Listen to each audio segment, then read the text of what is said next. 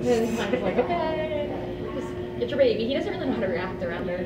She's tiny, so he's probably like, I could break you.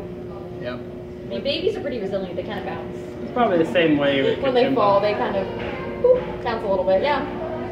That's what they did when Amani apparently when she fell from the top. They were like, she pretty much just bounced, but I'm like any like I see kids fall and I'm like I would break every Yeah, they just fall and they're like, oh, the I'm, they're okay until you if you freak out, then they start crying because you think you're freaking out. But Yeah, like, I'm like, I can just see myself like breaking my bones. Like they fall on their hands. I'm like, I would hurt my hands, my knees, my ankles, my face.